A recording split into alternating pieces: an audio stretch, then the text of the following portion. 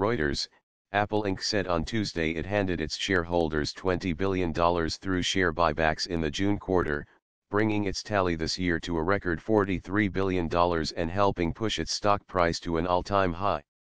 With a mountain of overseas cash freed up by last year a Euro trademark S sweeping U.S. corporate tax cuts, Apple Euro trademark S share repurchases in the first half of calendar 2018 exceed the stock market value of almost three quarters of the companies in the S&P 500, including Ford Motor Co., Delta Airlines Inc. and Twitter Inc.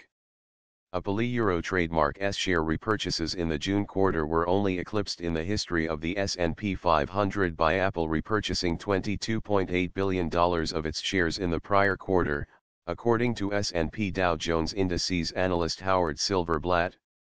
The recent pace of Apple Euro trademark S buybacks, disclosed in a quarterly report that beat Wall Street a Euro trademark S expectations, could help support the iPhone maker a Euro trademark S stock as investors worry that some high-flying technology companies have become too expensive. Confidence top-shelf technology and consumer stocks has been shaken in recent days following poor results from Facebook Inc. and Netflix Inc. Apple said in May it was adding $100 billion to its budget for buybacks. Its stock is up 16% in 2018, compared with the S&P 500 A Euro trademark S 5% rise. A Euro OEIC the buybacks as a major determinant of near-term price appreciation A Euro said D.A. Davidson and CEO analyst Thomas Forte. Apple reported strong quarterly revenue and profits in its report after the bell, driven by sales of higher-priced iPhones and from services like the App Store.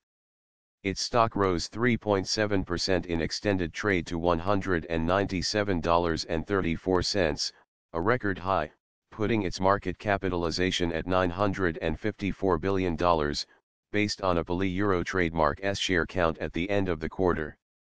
Apple is tickling at becoming the first publicly listed U.S. company valued at $1 trillion.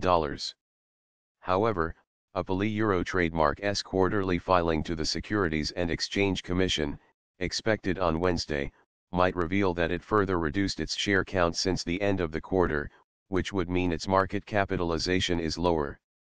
Apple also paid $3.7 billion in dividends during the quarter, bringing its total in the first half of calendar 2018 to $6.9 billion, the company said. The decision to turn over record amounts of cash to shareholders was a direct result of the Tax Cuts and Jobs Act passed by Republican lawmakers in December.